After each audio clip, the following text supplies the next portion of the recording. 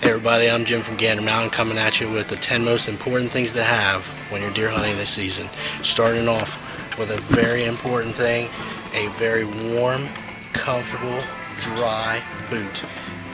One of the most miserable things that could ever happen out there is having a wet foot when you're out there deer hunting.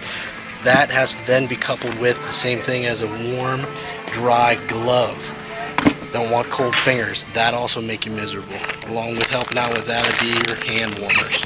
Gotta have some hand warmers to keep you warm and dry. Along with having your warm boot, definitely some good socks. Definitely want to have some nice warm socks to help keep your feet warm. Essentially in Pennsylvania, you gotta have your gotta have your blaze orange. A hat is a nice hat vest combo. It'll get you with your 250 square foot uh, of uh, square inches of orange want to have a nice solid cover scent. Fresh earth wafers, big hit with most uh, most hunters. This is going to mask you really well. It smells just like dirt.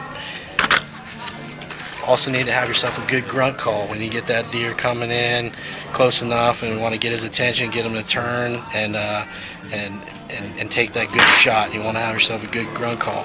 Of course, once you get there, you need yourself a good gut, gutting and cleaning knife something with a nice gut hook on there to get in there and, and, and, skin it out and then uh, cut it out and, and, get all those nasty stuff out of there before you take her home.